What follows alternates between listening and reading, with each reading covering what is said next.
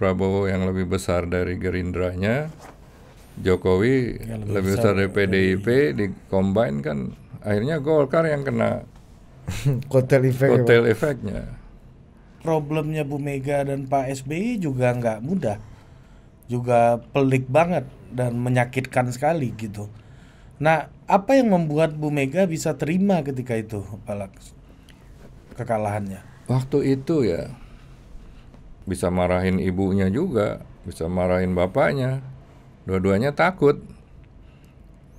Makanya kalau dalam hal eh, keputusan politik pada umumnya Ibu Mega menyendiri gitu loh. Dan Golkar punya sejarah bisa secara komersial bisa di take over. bisa Bagus bisa Saya bagus banget.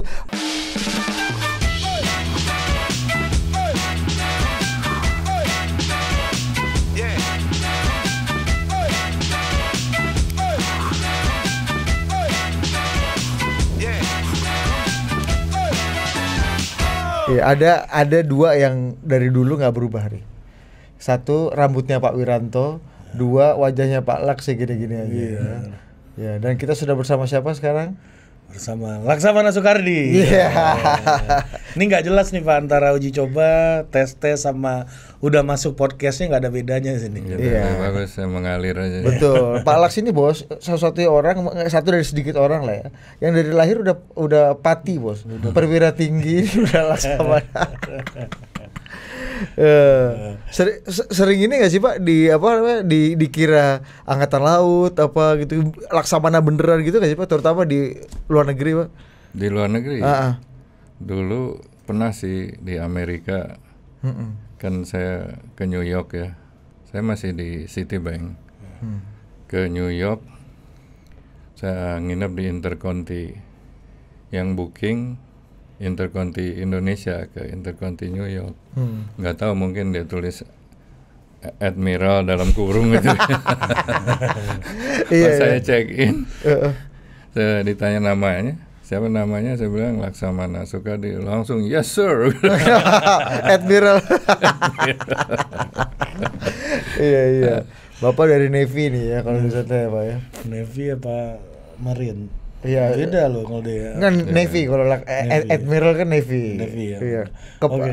ya banyak cerita lucu lah. Iya iya. Kalau di Indo banyak juga yang bilang yang ini ya. Yang banyak ngira- yang ngira beneran sih. Iya ya. Kan ada juga Laksamana Soekardi yang beneran. Oh ada Pak. Ada, oh iya, Suk- Pak Soekardi Iya, yang nggak- Laksamana. Iya. Pernah ketemu nggak Pak? Meet and greet dengan. Laksamana Laksamana. Eh, gimana nih? Kita ini Pak bahas isu-isu terkini Pak. Kan kemarin tuh cukup menghebohkan juga ternyata Comebacknya Pak Laks Oh, nih. ya. iya, penontonnya sejuta Pak sini Pak. Tepuk tangan dulu. Ah, mantap. ya ini kan gara-gara Pak Ari sama Budi. Iya, karena ada Pak, ya kan?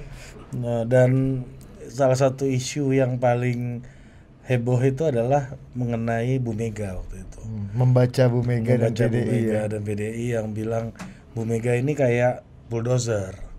Kalau kita udah selesai melawan otoritarian udah nggak perlu lagi bulldozer nih gitu kan. Yang perlu orang yang bisa berkolaborasi, orang yang bisa eh, bekerja sama gitu. Nah hari ini nih kalau Pak Laks melihat nih situasinya gimana Pak? Apakah Betul eh, bulldozer. Butuh banyak orang bilang wah PDI ini layaknya untuk di luar pemerintahan aja gitu. Mm-mm. Eh, kayak dulu kalau di luar pemerintahan PDI ini membuat demokrasi lebih berkualitas gitu misalnya. Jadi itu udah rame tuh sekarang tuh pak. Dengan tipologi bulldozer Bu Mega kayaknya itu lebih cocok. Iya. Apalagi Bu Mega di pidato terakhirnya di depan relawan ketika masa kampanye, Bu Mega kan juga udah teriak, Pak, bahwa kita nih situasinya seperti Orde Baru sekarang. Wah. Gimana Nah, saya kira ya Mega, Ibu Mega memang seorang pemberani ya. Dia nggak pernah ada rasa takut dia. Itu yang saya alami. Tapi zaman kan berubah sekarang. Nah itu yang tidak disadari oleh beliau dan pengikut-pengikutnya bahwa zamannya sudah berubah. Ya kalau mau jadi bulldozer lagi sudah bukan zamannya. Kita zaman demokrasi. Hmm. Ya, kalau dulu memang harus melawan apa sebuah rejim ya harus jadi bulldozer. Tapi Ibu Mega juga sudah mengalami kekalahan kan. Yang saya ikutin waktu kalah sama Pak SBY dia menerima kok. Itu satu sudah pernah terbukti dia menerima daripada apa rame-rame gitu membuat situasi tidak menentu sehingga uh, kepercayaan investor juga bisa berdampak ya karena ribut-ribut politik. Hmm. Tapi yang saya lihat memang di sekeliling Ibu Mega tuh tidak ada yang bisa memberikan masukan secara bebas tidak bukan takut lah masukan yang yes yes ma'am yes ma'am gitu loh. Hmm. pokoknya yang mengatakan jangan begini jangan begitu. Semua hanya mendengar jadi one way instruksinya sekarang. Nah kalau menurut saya ada dua hal untuk PDIP menjadi uh, oposisi. Pertama ya ini apakah mau bikin hak angket mau oposisi kredibilitas isu itu sangat penting. Karena semua partai dengan kader-kadernya kredibilitasnya sudah anjlok semuanya. Hmm. Ya dalam arti apa? Ya dalam arti tidak ada yang seperti malaikat bersih banget gitu loh. Hmm. Pasti ada kasusnya gitu loh. Nah dengan ribut-ribut begini saling cakar-cakaran. Ya mungkin dari kubu PDIP juga ada yang bilang ada masuk gigi satu aja dulu jangan jangan kenceng-kenceng gitu loh. Nanti kita bisa parkir di hotel Prodeo lagi kan. Ya itu juga suatu apa suatu faktor ya yang harus dipertimbangkan. Yang kedua kalau saya lihat menjadi oposisi di Indonesia itu tidak ada dalam konstitusi pak. Hmm nggak ada di konstitusi kita undang-undang politik atau undang-undang apa sebagai oposisi gitu disebut nggak ada karena kita menganut presidensial bukan uh, apa parlementer. parlementer kayak di negara-negara Eropa Barat kan hmm. oposisi itu memang memiliki posisi dalam konstitusi dianggap ada shadow government gitu kan yeah. uh, prime ministernya menteri-menterinya semua digaji Kabinet Dan, bayangan ya Pak? Ya, kabinet bayangannya juga digaji. Mungkin nggak sebesar yang di pemerintah. Digaji oleh APBN Pak? Iya, digaji oh. oleh pemerintah. Nah, dan juga diberikan ruang panggung untuk ber, me, mengeritik pemerintah kan selalu berhadap-hadapan kan Pak. Pernah lihat nggak di yeah. parlemen Inggris, yeah. parlemen-parlemen di Eropa Barat atau negara yang menganut uh, demokrasi parlementer?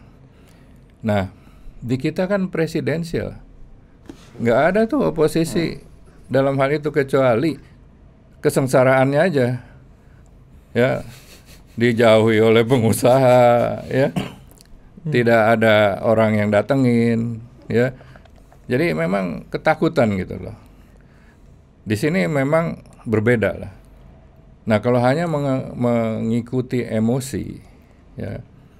Kemarahan tapi saya kira jangan emosi lah justru harus dijadikan pelajaran. Ya sekarang yang saya lihat semua itu uh, berkutat kepada symptoms, hanya melihat symptoms, ya si symptomatic approach atau gejala lah. Kalau Pak Ari badannya panas, ya dokternya yeah. lihat wah panas nih, kasih panadol aja. Hmm bukan dilihat di scan apa di ronsen paru-parunya infeksi gitu. Jadi nggak melihat penyebabnya. Nah, symptomatic approach seperti ini ribut. Ya, padahal sumbernya itu kan memang undang-undang politiknya memungkinkan hal ini terjadi gitu loh. Hmm, hmm. Yang mau dikatakan menggunakan fasilitas negara lah, ya. yang dikatakan apa dinasti mengangkat anaknya itu mungkin ya bahkan eh, keputusan MK yang menghapus batas umur. Ya. Kan yang marahnya kan di situ. Sekarang kalau saya tanya Anda jadi hakim Hmm. MK, ada permohonan untuk menghilangkan batas umur, Hmm. dikabulkan nggak? Kalau saya sih nggak setuju dibatas-batasin.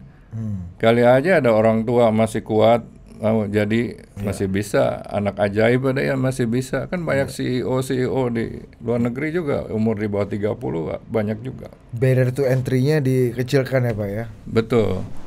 Jadi memang saya kira eh, dengan approach pada simptom ini, ya mereka terutama kalau udah kalah membuat narasi yang yang aneh-aneh gitu loh.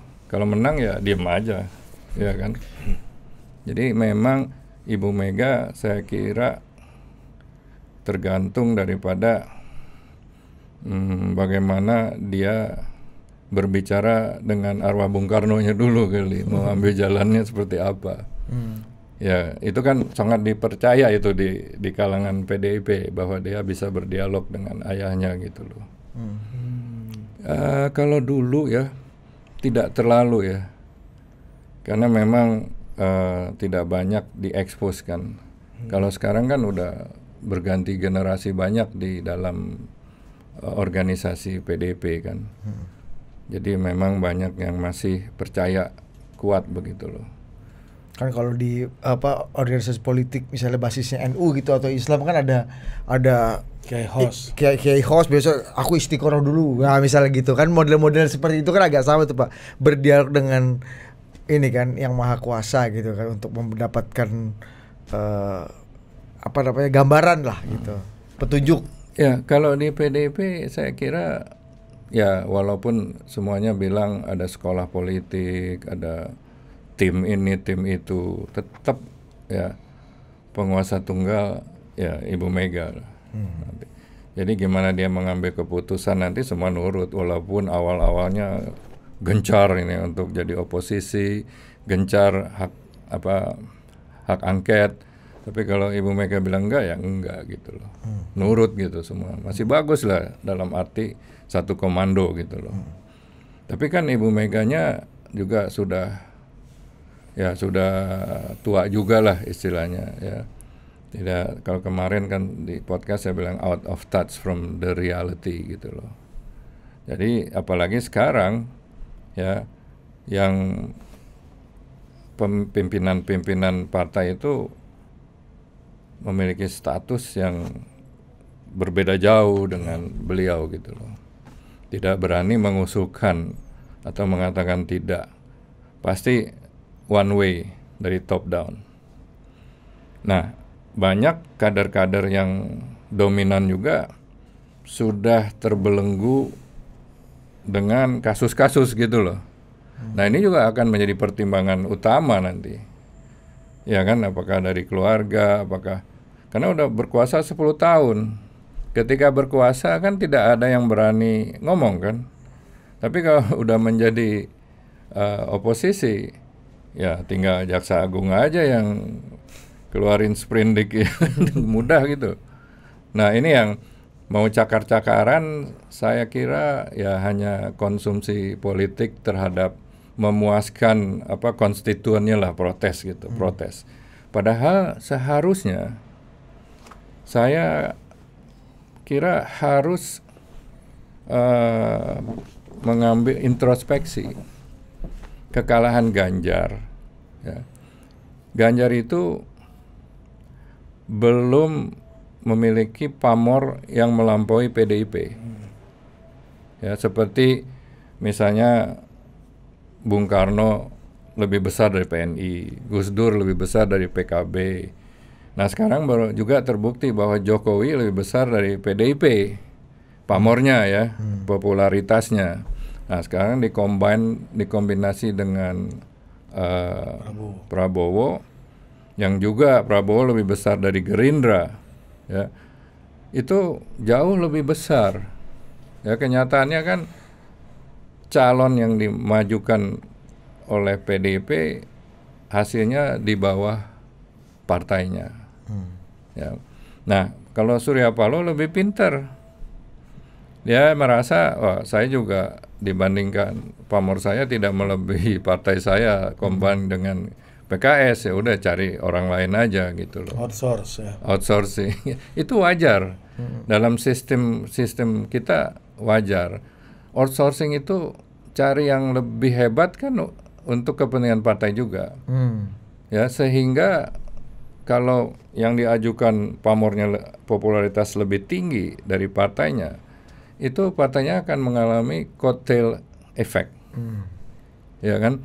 Ke bawah lah nah ini kan PDP kan nggak nggak ke bawah Tapi kok Pak Laks, sorry aku potong dikit. Kok Pak Laks bilang Pak Surya Paloh itu pintar karena nggak membiarkan ada kader lain Nasdem lebih tinggi dibanding Pak Surya gitu. Sehingga kan kata Pak Laks kan harusnya outsource saja, outsource dan kalau memang ingin mendapatkan manfaat lebih besar ya Anies di Nasdemkan aja sehingga dapat kotel yang maksimal gitu. Ya. Kenapa Pak Laks bilang itu eh, strategi yang saya cerdas? lihat cerdas dalam arti untuk mendapatkan kans memenangkan pilpres Hmm. ya kalau eh, kalau ada kader Nasdem yang lebih potensi dari Surya Paloh, saya juga nggak yakin bisa di, dibiarkan naik gitu loh. Nah ini kelemahan partai politik kita. Hmm. Kalau ada kader baik malah dipites gitu loh, tidak diberi kesempatan supaya eh, partai itu sebagai milik keluarga pribadi gitu loh. Tapi Bu Mega kan dengan memberikan kesempatan dua kali pada Pak Jokowi dan satu kali pada Mas Ganjar kan mematahkan eh, apa namanya eh, teori Pak Laks tadi bahwa Bu Mega memang menunjukkan sisi yang lebih demokratis, membiarkan dan mendorong kader yang dianggap potensial untuk diberikan peluang. Ya, saya kira is a good point ya. Kebet dan kebetulan pada wak- waktu Jokowi, Jokowi pamornya lebih tinggi. Tapi pada pemilu kali ini, ya eh, kan dicoba dulu. Puan Maharani, Mbak Puan itu dicoba dulu, nggak nanjak-nanjak itu kan. Jauh lebih di popularitas di bawah perolehan partai kan. Kalau partai dia masih dianggap 20%. Nah, di situ Ibu Mega sudah semakin belajar mengenai demokrasi dan lebih tolerans ya. Kita- saya lihat juga nanti dengan pasca pemilu ini dia juga akan lebih banyak eh, pendapat-pendapat yang saya harapkan tidak rock the boat ya. Hmm. Dan malah dari awal waktu podcast saya juga bilang pimpinan nasional ini ya duduklah sama-sama ya supaya hasilnya maksimal. Nah, Jokowi tentu saja seorang kader yang baik. Dalam ilmu manajemen kan kalau ada kader baik ya diberikan merit ya meritokrasi, promosi. Kalau saya ketua partai, tapi kan saya bukan ketua partai, jadikan aja Jokowi ketua umum. Nah Golkar mungkin pinter nih. Kalau tim sepak bola cari coach yang sing sing tayong jadi ambil dari Korea ya kan. Nah itu yang mungkin di PDIP nggak bisa. Karena an- boleh calon presiden, boleh calon apa, asal jangan ketua umum aja gitu loh. Nah itu juga kan nggak nggak masuk akal juga. Padahal bukannya eh, memberikan partai ke orang lain ini belum tentu akan bisa saja mencelakai keluarganya Bu Mega juga nanti di masa depan. Kalau dalam politik kan semua kan mungkin aja kan. Konflik itu kan mungkin kecuali itu perusahaan milik Anda ya kan tetap saham Anda pegang CEO-nya orang lain gitu loh. Eh, Tapi Mega juga kan bisa membuat sebuah apa merubah anggaran dasar. Dia jadi ketua pembina berkuasa penuh seperti Pak Harto dengan Golkarnya. Siapa pun gonta ganti ketua Golkar dia nggak masalah ya. ketua dewan pembina yang berkuasa. Hmm. bisa aja seperti itu tetapi packagingnya kan berubah. Saya pernah bilang dulu sama Mbak Mega ketika 2004 pas kalah sama SBY saya bilang Mbak kalau kita kalah tuh artinya kalau kita jualan sabun di supermarket wis ora payu mbak. Nggak laku saya bilang. Loh kenapa? Ya nggak laku nggak ada yang beli nggak ada yang milih kan? Hmm. tapi masih bisa diambil apa keputusan ditarik di pack repackaging. Hmm. daur ulang ya bungkusnya aja yang Bungkusnya, beda kan. semua kan sabun sama aja itu. Iya, bahannya sama tetap ya. dibungkus ulang supaya menarik. Maksudmu apa? Ya saya bilang Mbak Mega jadi ketua dewan pembina cari ketua umumnya yang fresh gitu loh. Nah Mas Taufik dengar masuk. Dia gebrak meja. Laks ini partai milik keluarga. Nggak boleh orang lain pegang partai. Saya tengok Mbak Mega diem aja Mbak. Ini keluarga Bung Karno apa keluarga Kimas? Saya bilang dia diam aja kalau ada Mas Taufik. Hmm. ya sejak itu ya saya bilang ya udahlah. Kan tugas saya kan memberikan uh, masukan dong kepada bos ya. Karena kecintaan kita karena nalar kita yang baik gitu loh. Jadi saya bilang juga saya masih merah tapi I speak my mind gitu loh. Saya bicara sebagai orang merdeka gitu loh. Tanpa apa niat apa niat jelek. Kalau itu dilakukan kan bisa beda. Hmm. nah kemarin kan ada perdebatan selalu Jokowi kalau nggak ada PDIP mesake gitu kan. Hmm, kasihan. kasihan deh. sedangkan Jokowi kan presiden kan. Dan udah dua kali nah dengan demikian Artinya sabunnya payu ya. Iya, bungkusnya kan bungkus Jokowi. Hmm. Nah, jangan sampai Jokowi keluar. Tapi kalau orang yang memiliki eh, karakter yang progresif dan dia merasa se- sebuah ikan dan berenang di kolam yang kekecilan, dia nggak betah gitu loh. Nah, akhirnya Jokowi tidak mendukung Ganjar lagi, mendukung Prabowo, kan kombinasi antara Prabowo yang lebih besar dari Gerindranya, Jokowi lebih lebih besar besar dari PDIP, di combine kan akhirnya Golkar yang kena Kotel efek. ya, kotel efeknya. Nah itu sebuah eh, pilihan pilihan kecerdasan, ya, pilihan ke negarawanan, ya, dan apa pilihan untuk tetap menguasai partai gitu loh. Kombinasi ini yang kelihatannya dipilih yang terakhir gitu loh. ya jadinya kan kalah. Ganjar kan teman saya juga. Hmm. Tapi terakhir kelihatan kan kasihan perolehannya. Hmm. Ya, memang dari pamornya juga udah udah kalah sama Jokowi dan Jokowi ikut campur mendukung memberikan endorsement gitu. Nah, Malaks, ini kan sekarang yang terjadi adalah eh, PDI sebagai bagian dari penguasa hari ini gitu ya, itu mempertanyakan eh, lewat angka angket dan intinya belum mengakui lah kalau pemenang pilpres ini adalah Prabowo dan bersama eh, Mas Gibran dalam konteks ini.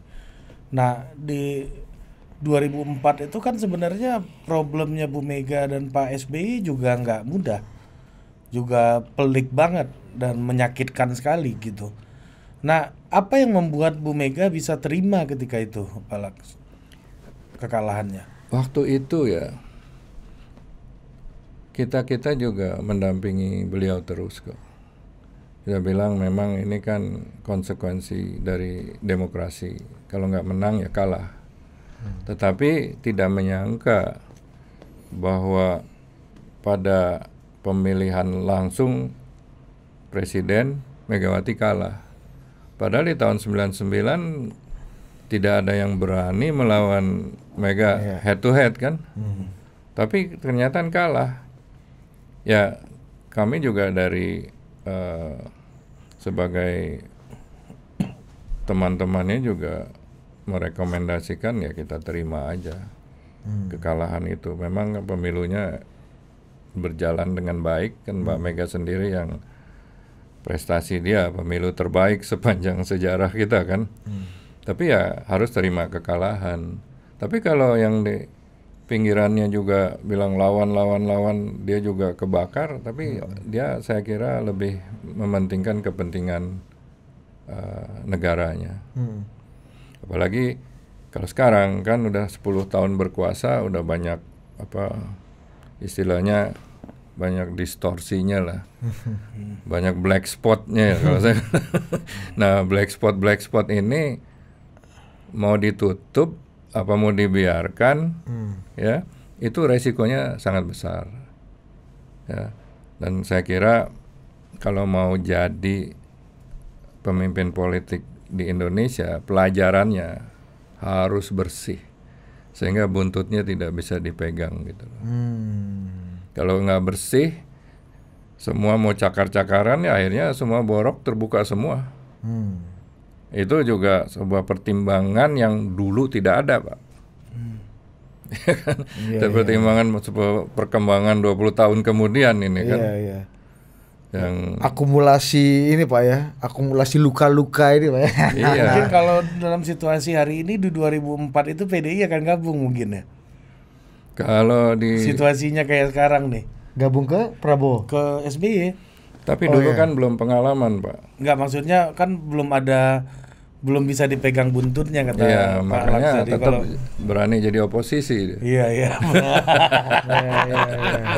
berani jadi oposisi kalau enggak ya kasihan juga nanti kan apa Iya. saudara-saudaranya lah ya kan Apalagi dari 99 ke 2004 tuh banyak yang masuk ma- banyak yang keangkut ya Pak ya. itu pun banyak menteri-menteri yang keangkut Iya, iya, iya. banyak menteri yang keangkut Ya 33 persen jadi berapa?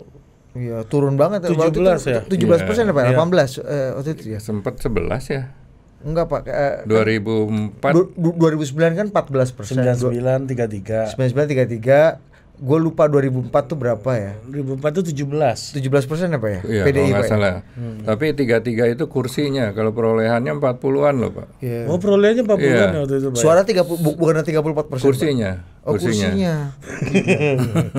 Dan hampir super majority Iya, Pak ya. hampir super majority. Karena banyak kursi murah di Sulawesi Selatan yang kita kalah gitu. Iya, iya. Pak, tapi Kursi murah. Pak Laks melihat Bu Mega yang dulu 2004 yang ketika Anda eh, di sekelilingnya Bu Mega mau oke lah kita terima kekalahan tapi konsekuensinya Bu Mega tetap teguh hati untuk menjadi oposisinya Pak SBY selama 10 tahun dengan Bu Mega yang sekarang yang kalau kata Pak Laks tadi eh, apa out of reality Hmm. eh, what do you think Pak Bu Mega sekarang dan Bu Mega yang dulu Ibu Mega itu prinsipnya asal satu nggak disentuh. Partainya jangan diganggu. Ketua umumnya jangan diganggu. Hmm. Ya, kalau ada siapa pun mau mengancam posisinya itu sulit lah. Tapi kalau urusan mau ke mana partai mau oposisi mau ikut pemerintah, menurut saya dia lebih fleksibel. Dan sekarang udah lebih banyak belajar juga. Cuman yang saya katakan eh, beliau itu kalau pidato kan masih kayak dulu aja. Ya, kan pidato zaman dulu sama zaman sekarang konteksnya berbeda. Hmm. Tapi isinya ya sama. Saya banyak masukan juga waktu kenapa Prabowo menang banyak eh, pemilih yang eh, masih belum menentukan sikap antara Prabowo atau Ganjar. Ketika Ibu Mega pidato, yang pidatonya mengatakan, "Hai tentara, polisi, jangan ganggu rakyatku." Nah, rakyatku itu yang secara politik kan is a blunder ya. Kalau dulu zaman Pak Harto itu benar. Karena apa? Dia tidak bisa ketemu jenderal-jenderal polisi, jenderal TNI juga nggak bisa. Kalau sekarang kan bisa ketemu panggil aja. Hmm. Nah itu orang-orang mulai melihat, wah ini ratu kita sudah out of touch from the reality. Hmm. Maka dianggap ratu kan punya rakyat sendiri gitu loh. ya. Dan yang kedua, itu pernyataan teman saya Ahok. Hmm. Ketika Ahok bilang ya yang memenjarakan saya adalah Jokowi. juga yang mengangkat saya jadi komisaris. Makanya dia mundur gitu loh. Tapi kan banyak orang-orang PDIP yang masih Jokowi dan pada saat itu mulai banyak yang berpindah itu. Yang tadinya ragu-ragu menjadi firm dalam memilih nanti. Orang-orang PDI itu maksudnya konstituen ya Pak ya? Ya konstituennya, bukan anggota ya. Konstituen kan kita floating mass banyak kan. Oh jadi Ahok tuh salah satu variabel juga Pak yang membuat suara eh, apa namanya pemilih loyalnya Jokowi atau mungkin suaranya Pak Ganjar itu makin eh, turun gitu Pak. Bukannya justru malah menguatkan iman eh, para pendukung Ganjar dan pemilih Jokowi Pak dengan ya dengan tampilnya Pak Ahok. Tapi jangan salah di PDIP juga banyak yang simpatik ke Jokowi. Hmm. Tapi tetap PDIP. Nah pada waktu itu masih ragu-ragu karena ada pecah nih di atasnya gitu loh, mau ke Jokowi atau mau ke Megawati.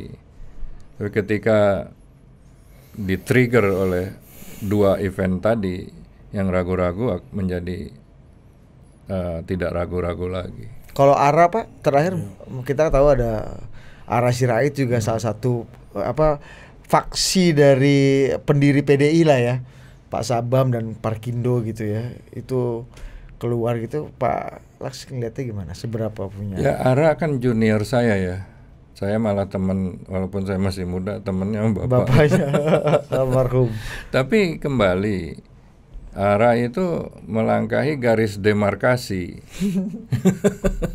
Di sana tuh nggak boleh garis demarkasi itu dilalui. Hmm. Di waktu pemilihan kabinet pertama ya Jokowi dia ya langsung gitu loh. Makanya Jokowi juga kenal Ara kan. Sebenarnya tidak ada masalah. Tapi tidak kulonumun ke pimpinan PDIP.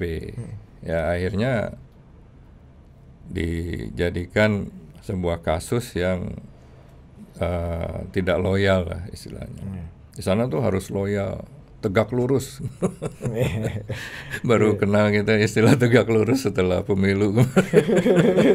Sebelumnya nggak ada ya. Nggak ada itu tapi tapi kader-kader yang punya pikiran progresif. Ya, saya lihat tidak hanya Ara saja, eh, Budiman Sujatmiko juga kan ya melihat eh, masa depan di sana tidak diberikan kebebasan berpikir ya. Kan demokrasi itu yang paling penting memberikan kebebasan berpendapat kan. Ya, malah dipecat kan. Padahal berteman dengan Prabowo Ibu Mega juga pernah berpasangan paslon dengan Prabowo kan berarti udah nggak ada isu dong Hmm. harusnya tapi kan waktu itu PDI udah memutuskan Ganjar Pak iya betul. Tidak tapi sesuai fatsun dong. Tapi sekarang ini yang belum kita terima ya.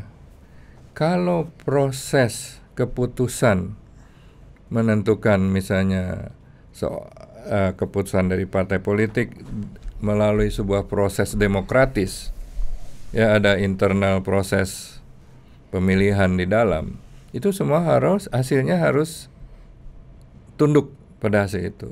Hmm. Tetapi kalau prosesnya ya main comot pemimpinnya banyak juga yang nggak suka nggak pernah nggak didengar ya. Bi- itu juga proses demokrasi yang mungkin tidak benar gitu loh. Bukannya pemilihan Ganjar sendiri sebagai kandidat itu udah sangat demokratis pak. Karena kalau dalam aspek yang berlawanannya gitu misalnya kan dengan gampangnya Bu Mega akan memilih Mbak Puan eh, sebagai kandidat gitu. Bukankah itu juga lagi-lagi mematahkan tesisnya Pak Laks bahwa Bu Mega demokratis gitu. Bu Mega itu mengambil keputusan ya sangat logik pada saat itu. Karena puannya sendiri kan nggak narik popularitasnya. Tapi ketika dia memutuskan Ganjar Hmm. ya itu lebih banyak keputusan dia pribadi Eh, Jokowi aja kaget kok kader paling penting kaget gimana kader-kader lain ya kan benar nggak itu Iya. Jokowi kan kaget ketika Ibu Mega mengumumkan Ganjar dia dipanggil dari Solo Wah, Pak Pak Las kalau nanya itu ke Budi dia langsung sok lugu. Masa, Masa sih Pak? Infonya sih begitu Pak. Kali ini agak naik satu. Iya. Tapi dari mana eh, Pak Laks tahu bahwa itu keputusan eh, apa namanya eh, independen dan tegas dari Bu Mega sendiri tanpa nggak usah ada pengaruh. Saya udah tahu Ya. proses sana. Kalau pasti kalau ditanya kader-kader PDP wah kami sudah Eh, udah berembuk gitu loh. Kami sudah mengusulkan. Saya kira nggak ada itu istilah seperti itu di PDIP yang saya tahu ya. Hmm.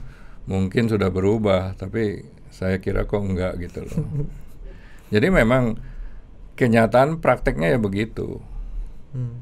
ya kan Pak Bu, kalau tadi Pak Laks masih nyambung, aku masih penasaran. Pak Laks bilang Bu Mega itu out of out of reality gitu ya. Hmm, harusnya kan orang-orang di sekitar Bu Mega kan yang masih keep in touch dengan reality Pak. Yang terutama kalau misalnya let's say di luar kader biasa Pak. Ya kan sekjen, ketua partai, eh, wasekjen, bendahara itu kan kader-kader biasa notabene. Tapi kan ada dua putra putri Ibu Mega yang juga eh, pimpinan partai yang harusnya bisa memberikan masukan yang lebih genuine gitu Pak. Eh, yang nggak yang nggak takut dengan yang nggak takut dengan tadi yang konsekuensi-konsekuensi dari masukan tersebut. ya kan nggak mungkin dipecat jadi anak juga kan lu. Masukan nih masukan juga nih. kita eh sakit kampret lu gara-gara dapet jenderal bintang 4 ini lupa dia kalau nepuk di pundak terus sekarang. Orang kena tepuk pundak tuh bangga sekarang. Pak. Nah, memang memang eh, itu kenyataan ya. Jadi dalam family management ya eh, pa- partai di manage sebagai oleh keluarga kan secara nggak langsung ya ngomong gitu kan. Iya. Yang di memang anak-anaknya sudah mulai besar sekarang dan Puan sudah mulai memiliki apa karir politik yang cukup ya. Sedangkan Prananda kan baru nongol. Dulu tidak pernah diberi kesempatan oleh Pak Taufik Kimas. Dia totally muted. Ya. Nah, sekarang baru muncul. Nah, tapi jangan salah ya bahwa Puan juga membawa gerbongnya dia sendiri. Prananda membawa gerbongnya sendiri. Nah, di situ Ibu Mega sebagai seorang ibu harus mempertimbangkan ya. Kalau satu diangkat, yang ini ribut. Ya kan? Kalau ini diangkat mungkin belum ini ribut dan belum waktunya. Ya jalan tengah aja udah di dikasih ganjar gitu loh. Out of surprise. Ya. Karena banyak juga yang masih mempromosikan Puan. Ya kan? Walaupun apa harus Puan, tapi banyak juga yang mengatakan kalau bisa jangan Puan tapi Ganjar. Nah ini ini masing-masing bawa gerbong yang sangat sulit ketika menentukan pilihan an- antara anaknya gitu loh. Yang lebih baik ya sebetulnya ada komite ya yang tidak bias gitu loh. Tapi memang di manajemen itu masih keluarga. Kalau ada yang bilang enggak itu bohong. Ya, ta- tapi soal masukan, Pak. Hmm. Soal masukan tadi yang Budi tanyakan, masa sih eh, ada risiko yang besar juga dari kedua anaknya Bu Mega ini dalam memberikan masukan gitu. yang lebih genuine, Yang lebih independen genuine, independen dan keep in touch dengan reality. gitu. Kalau nggak jauh dari kata yes ma'am seperti yang tadi.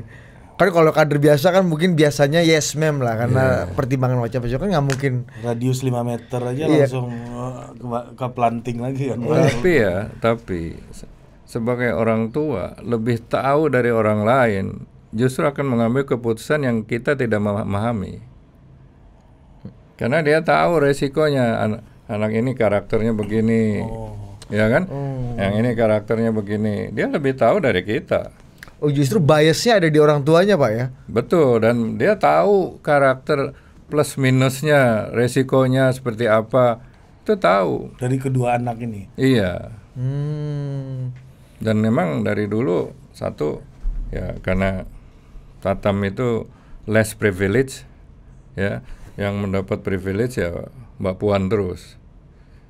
Nah, mungkin sebagai naluri seorang ibu, kasihan dong yang satu Nanan, Nanan. ya Prananda Nanan ya akhirnya demi kedua-duanya ya pilih jangan pilih salah satu lah ya kan apalagi pollingnya juga tidak mendukung gitu loh.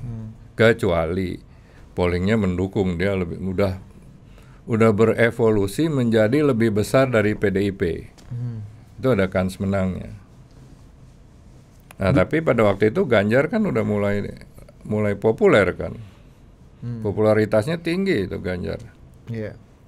tapi orang tidak me- menyadari karena dia di endorse dan di market marketingnya Jokowi lah ya kan jadi kalau udah nggak di marketing lagi ya pindah ya akhirnya eh, popularitasnya turun Lu udah Kepala BKPM-nya Jokowi itu. gua mau geser nih. Enggak, gue satu lagi nih. Dulu grooming prosesnya kalau Pak Pak Palas kan or, jadi orang internal kan dari tahun 90 berapa? Bu Mega? 94 ya, 92. 92 92 kan ada di kalau Iya, ya itulah.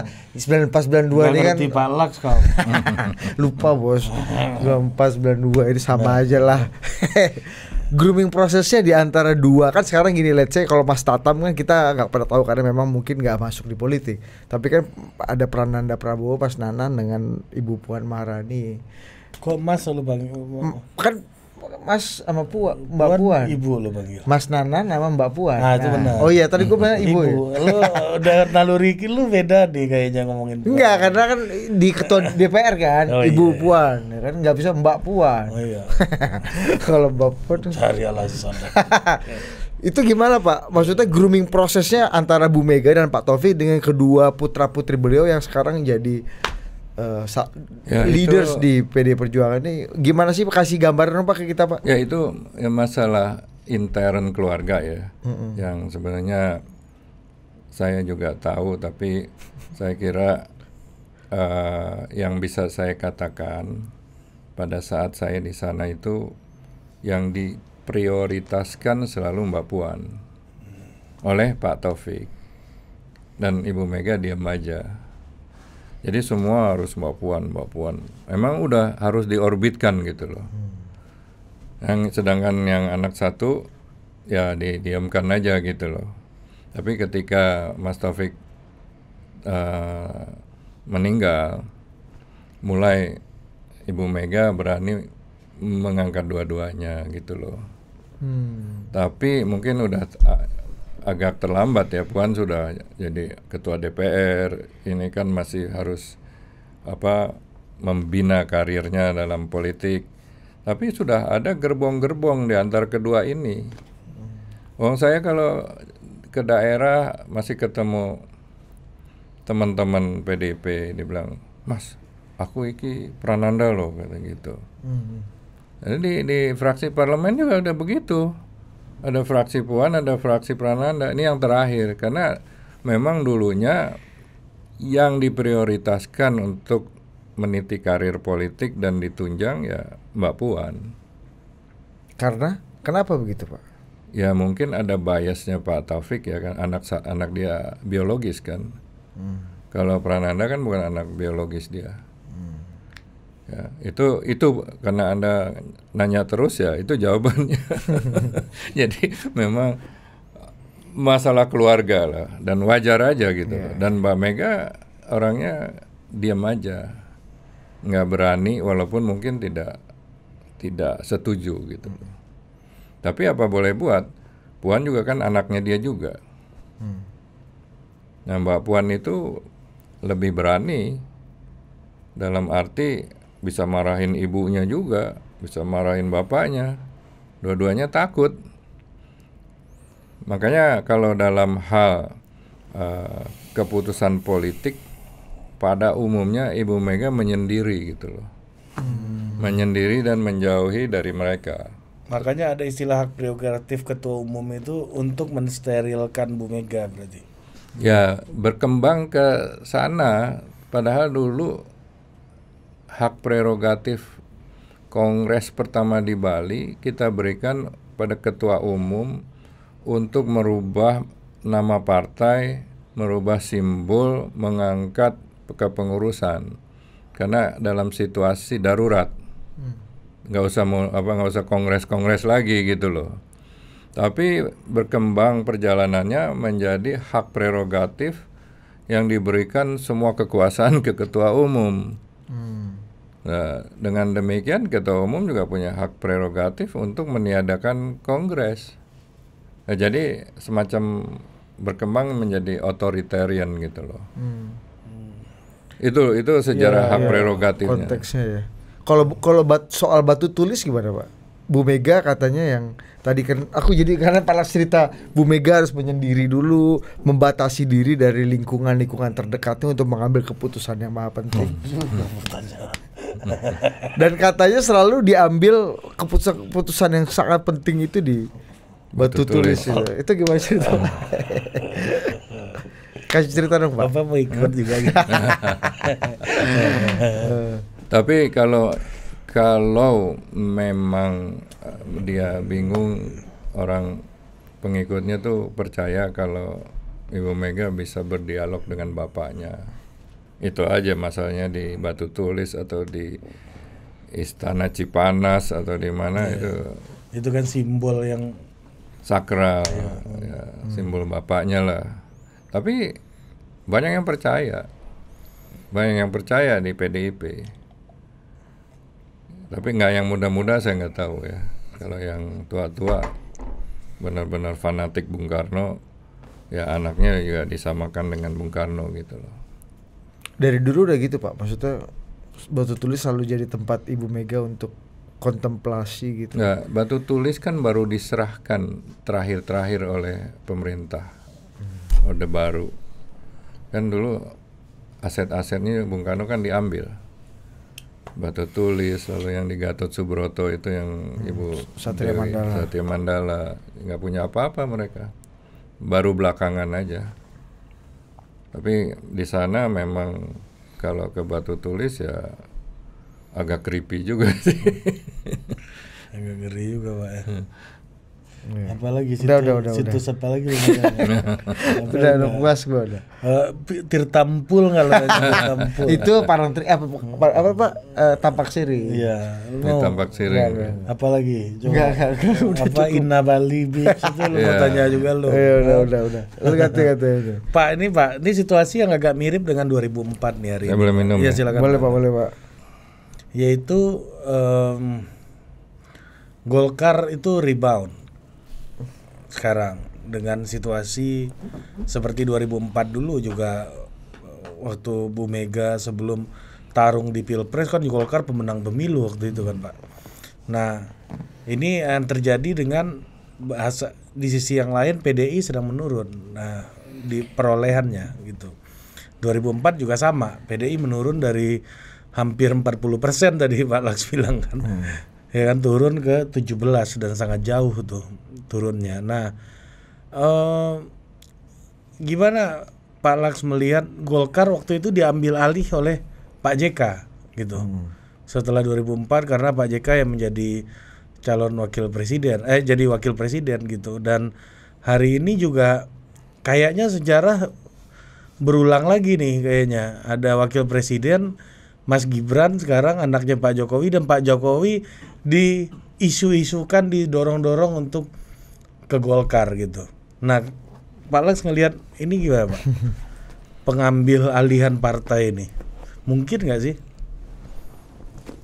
Ini analisa ya, Pak. Ya, Analisa bisa salah. sebagai orang yang berinteraksi juga dong. ya. Sebagai politisi sendiri Iya. Pak. Kan begini, Melihat kasus 2004. banyak juga yang meramalkan relationship antara Prabowo dan Jokowi akan pecah. Ya. Karena ada siapa yang bilang nggak lebih dari dua tahun. oh itu kok di Bakri Iya. kemarin tuh. rame pak sampai ke polisi-polisi. Iya. Dan tidak hanya beliau aja yang ngomong juga kan, banyak yang yang ngomong. Tapi saya Matahari kembar katanya Pak.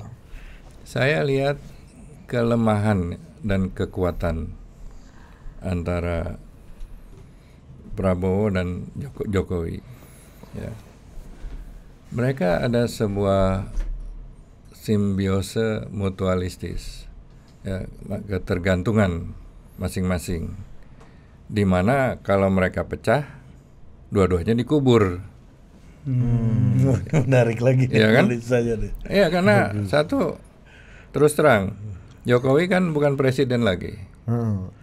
Kan Prabowo bilang "Wah, sing presiden sopo gue yang nentukan gitu kan. Tapi kalau hal itu terjadi ya akan terjadi keguncangan sosial. Ya. Keguncangan sosial politik di mana Jokowi masih kuat.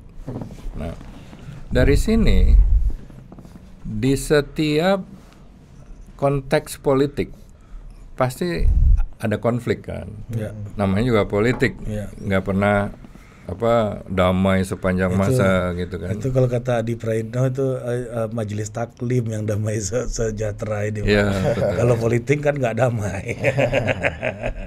Tapi ketika simbiose mutualistis itu masih ada, ya, mereka yakin kalau kelemahannya Prabowo begini, kelemahannya Jokowi nanti begini, mereka akan belum lagi ada oposisi ya yang menunggu gitu loh.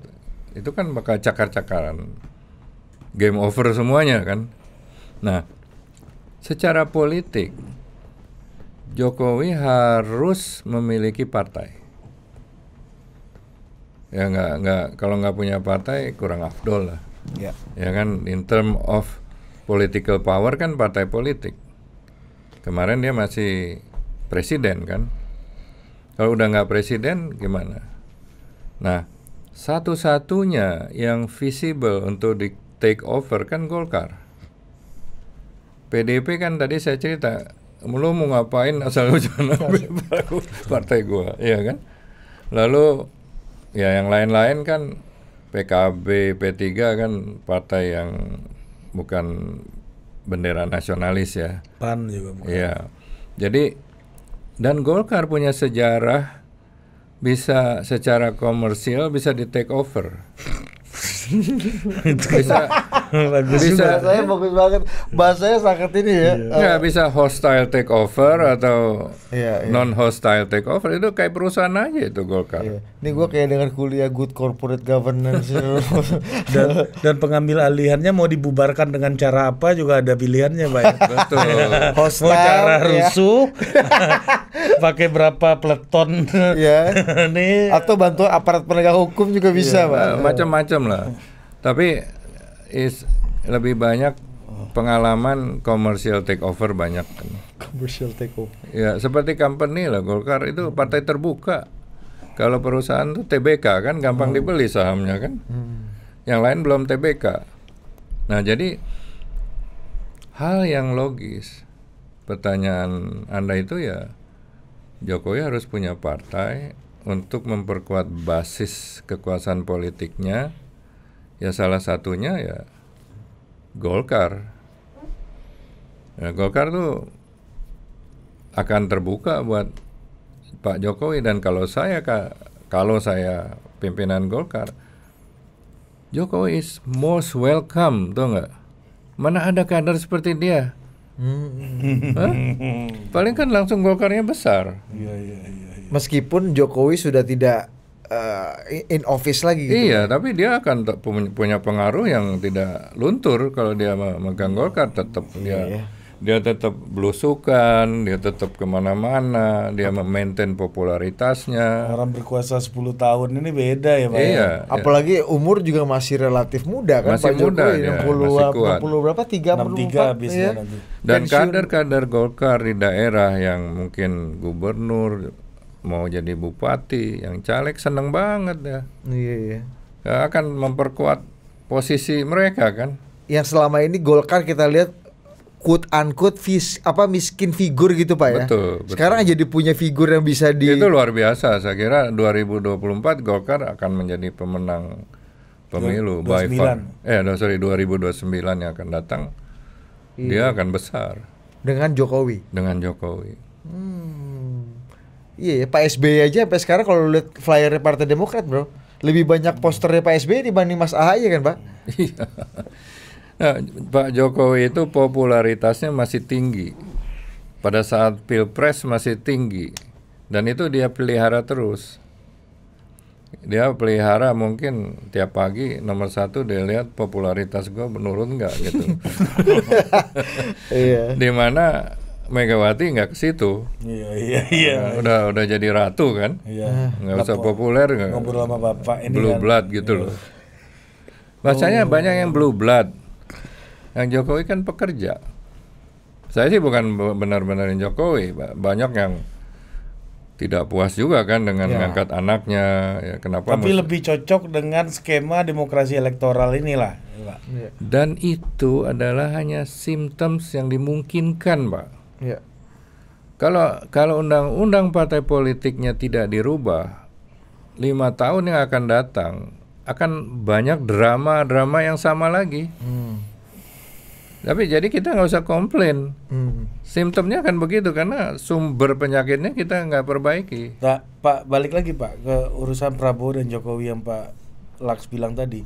Artinya Prabowo punya kepentingan agar Jokowi tetap kuat. Karena tadi kalau saat ini du- dua yang tidak bisa satu mati akan terkubur dua-duanya. Ya, ya. Ya, kalau Palas dia- melihat dia relasinya gitu. Dia tandem gitu loh. Iya iya iya. Kalau terjun payung tandem, kalau payungnya nggak terbuka kan mati Iya. dua-dua. Bagus banget ya. Bener pak, bener pak. Lewat dua-duanya. Itu benar lah. Kenapa Prabowo lu benar-benar? Bener kan an- metafornya itu Oh, tepat bos ya kan? ya, ya. Iya bos. Nah yang ngotot untuk Gibran siapa? Prabowo kan supaya Jokowi ikut Iya. ikut, Ikut tandem, main- ikut tandem. tadi. Ya kalau enggak Jokowi bisa diem-diem dia copot kan Iya. parasutnya Prabowo ini. nah, kalau nggak ada Gibran pak. Saya ikut Kalau deh katanya. kalau ada Gibran kan mau nggak mau tandem terus ya pak. Tak, tapi Pak analogi coba masuk ke tadi logikanya Ari dan logikanya Pak Laks bahwa kalau Pak Jokowi masuk ke Golkar, Golkar akan naik signifikan karena punya figur, popularity Pak Jokowi juga gede, Pak Jokowi juga masih punya daya tawar.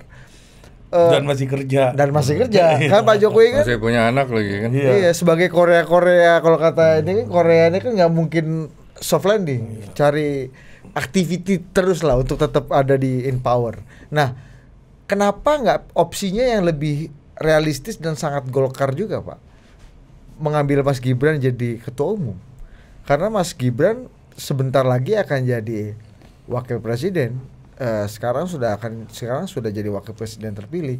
Dan dalam sejarah ingat banget waktu 2004 Pak Laks dikalahkan PDI Perjuangan dan PDI Perjuangan bisa dikalahkan kembali oleh oleh Partai Golkar dengan nuansa anti orde baru yang masih kuat waktu itu Pak di bawah pimpinan Bang Akbar berhasil memimpin membawa Golkar menang pemilu Hmm. tapi toh setahun kemudian kalah dalam Munas dari Pak JK yang di 2004 Pak melawan partainya.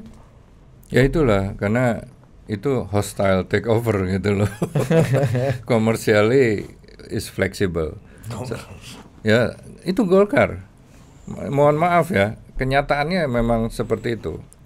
Ya kalau anda katakan Gibran yang ngambil ketua umum Golkar dalam situasi uh, sosial politik sekarang itu terlalu sensitif. Kenapa nggak di apa divert gitu loh attention attackingnya juga Oh. jangan ke Gibran Gibran terus Gibran udah dimaki-maki nih dia dianggap punya paman di MK dianggap uh, anak haram konstitusi Dan ya. di di level nasional belum punya prestasi apa-apa. itu kan. juga Pak Jokowi kan betul kalau saya Golkar Untuk partai Jokowi sebesar aja. Golkar ya Pak ya. Nah Golkar itu kader-kader di daerahnya kuat pak itu kan udah 32 tahun Hmm. sebelum reformasi di daerah bupati semua kenanya kan Golkar. Dan kadernya udah dibiasakan bekerja. Cuman satu dia nggak punya. Figur pemimpin yang populer. Nggak pernah ada setelah Pak Harto. Kalau ada Jokowi masuk wah udah selesai mereka seneng. Puzzle-nya lengkap. senang Bang Akbar, Pak JK tuh bukan menjadi figur populer versi yang Pak Laks bayangkan buat Golkar. Saya kira beda pamornya ya. Beda pamor. Kalau Jokowi lebih besar dari Golkarnya, Golkarnya kan ketarik. Hmm. Yang tadi awal-awal kita bilang kan, Hmm. Eh, dan itu juga lama-lama akan fading away juga sih pemimpin apa popularitasnya kan. Mumpung masih tinggi, kalau saya pembisik Jokowi ya Pak Jokowi aja ngambil kalau saya pembisik ya. Gibran biar punya prestasi nasional dulu Iya. gitu ya. Dan ini kalau kata Pak Las bagus banget tadi memisahkan sasaran tembak ya Pak Iya, ya. iya. Karena kalau Gibran akan ambil alih Golkar, sasaran tembaknya akan empuk banget nih satu target ya Pak ya. Dan tidak hanya dari luar, dari dalam Golkar juga resentmentnya banyak nanti. Ya kan kalau Jokowi saya kira semua udah tahu. Kelihayannya udah Satu masih pengusaha masih ada sama dia ikut. Kedua pengalamannya, apalagi kalau take overnya sebelum Oktober nanti kan, ya kan lebih lebih puas lah. Dan kader-kader Golkar juga akan merasa punya payung terjun payung ini pasti terbuka dengan baik gitu loh. Nah itu juga memberikan balancing kepada Prabowo dan Gerindra gitu loh. Itu juga salah satu faktornya.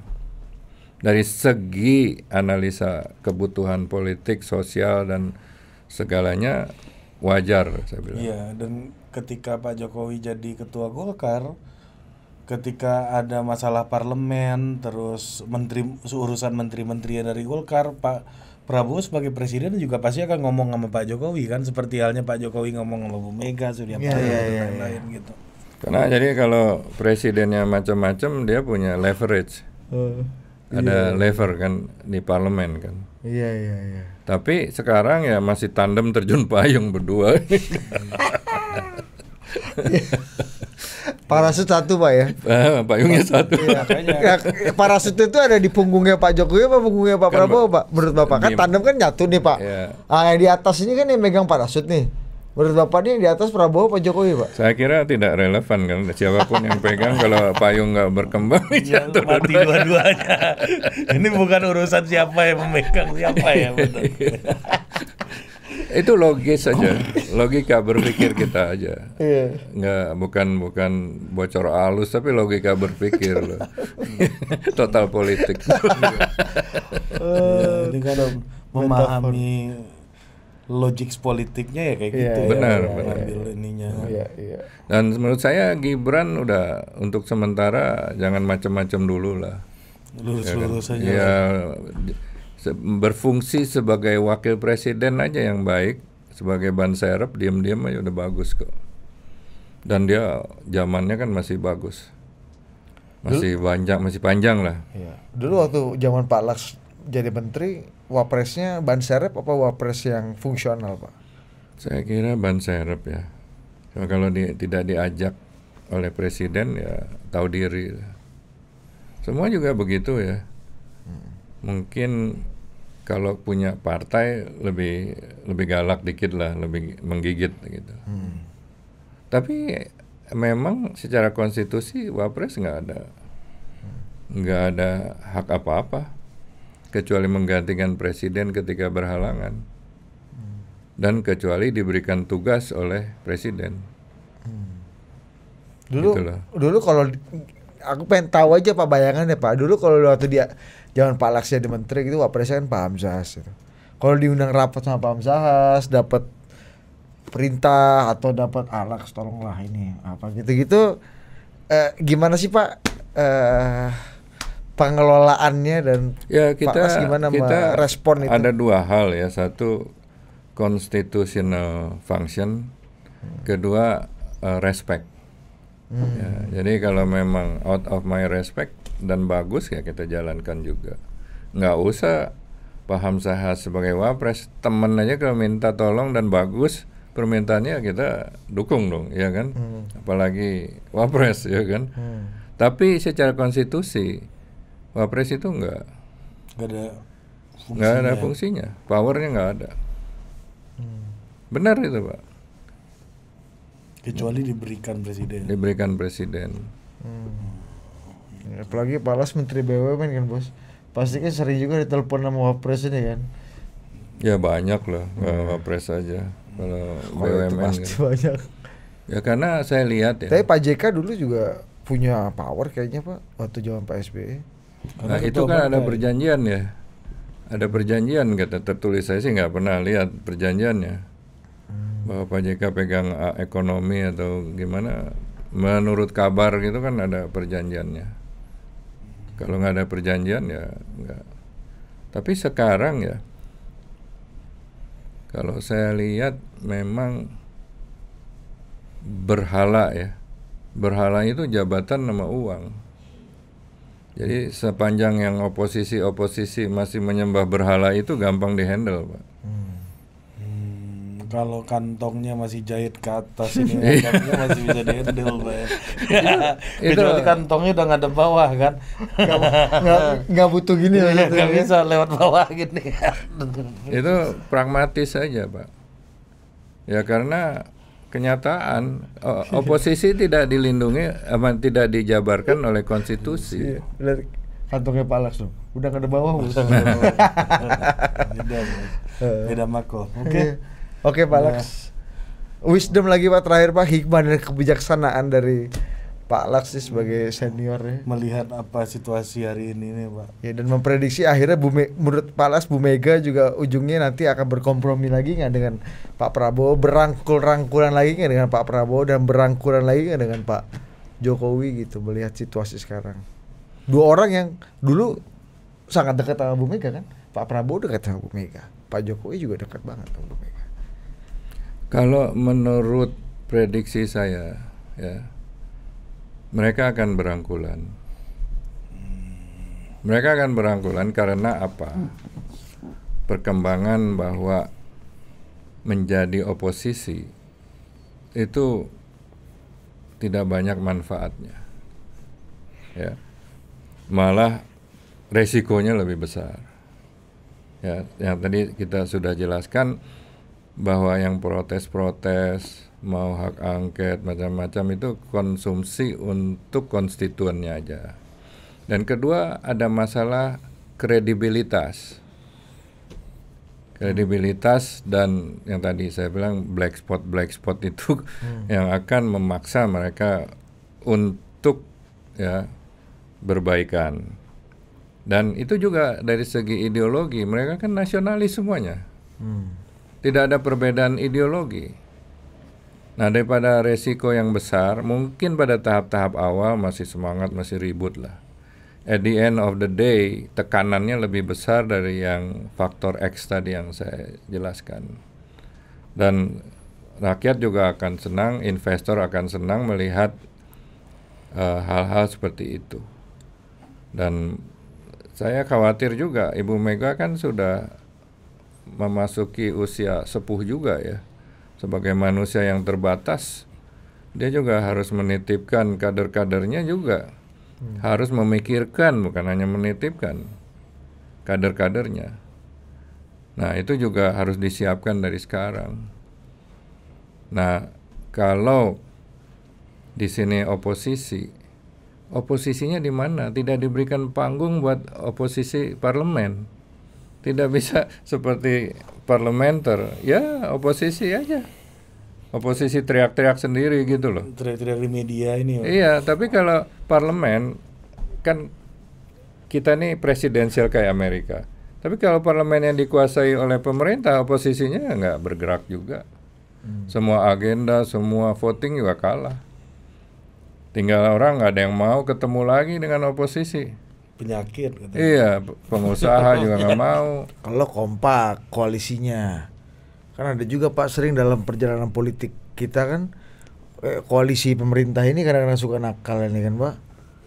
Dulu PDI aja bikin pansus kan buat Pak Jokowi. Ya, semua dalam politik pasti ada yang genit-genit nakal-nakalan supaya menaikkan bargaining powernya aja. Ya kan Wani Piro gitu ujung-ujungnya kan Wani Piro. Nggak serius-serius buat melawannya. Balik lagi berhala tadi. Teori Iya. berhala tadi. Betul. Jabatan dan Dan uang. Dan uang. Ya, selama kantong baju masih menghadap ke atas. ya. Ini Selama- pengalaman saya juga. Waktu saya Menteri BUMN, kalau saya panggil eksekutif BUMN jam 4 pagi, datang di rumah Pak. Coba suruh sholat subuh ngantuk lah gitu kan. Jadi berhalanya jabatan itu loh. Lagian bapaknya juga ada-ada aja pak, manggil jam 4 bu ya jam Enggak 6 lah kalau minimal. itu kan saya juga Iya, mereka oh, kan. sangat concern gitu loh. Oke, mau ditelepon siap-siap pak gitu. Iya, takut gua ntar diganti Apa lah. ada nggak pak? Dulu pernah ngerjain eksekutif BUMN, Pak? maksudnya Iya. ngetes ngetes aja gitu pak? Ada nggak pak cerita pak? Ada saya tes-tes juga. Gimana juga. gimana? Kasih cerita Ya, satu. saya panggil aneh-aneh. pagi-pagi datang gitu loh. Padahal mau ngetes aja emang nih. Ya, saya tanya macam-macam gitu. Pasti datang lah. Kalau nggak diganti dia takut juga. Pengusaha juga sama pejabat, apalagi pro- rekanan-rekanan pemerintah pasti datang. Jadi berhala modern itu ya uang dan jabatan. Hmm. Tinggal dijabarkan aja. Ini tinggi nih hikmah kebijaksanaan dan ya. Top ya. Iya. Oke lah ini kita udah bagus banget nih. Sa- iya, kita- Nggak usah kita tambah lagi. Enggak enggak, gue jam 4 pagi aja nelfon editor aja, abah abah abah abang bisa nggak nanti nggak tuh jam 7 aja bang? Malah kita dimarahin pak. Iya, berarti dia punya berhala yang lain. Iya? Malah positif, lihat positifnya aja. Iya, iya, iya. Berhalanya bukan Bukan jabatan dan bukan uang. uang. ya, berhalanya yang lain dia. Mantap juga loh Kevin. Ini mana nih kalau saya telepon jam setengah lima pagi, ah marah-marah dia lebih galak daripada kita pak. Bagus. Kevin top pak, ke gereja setiap minggu pak, nggak pernah putus selama 20 tahun. Oke, sampai jumpa lagi. Dah. Thank you.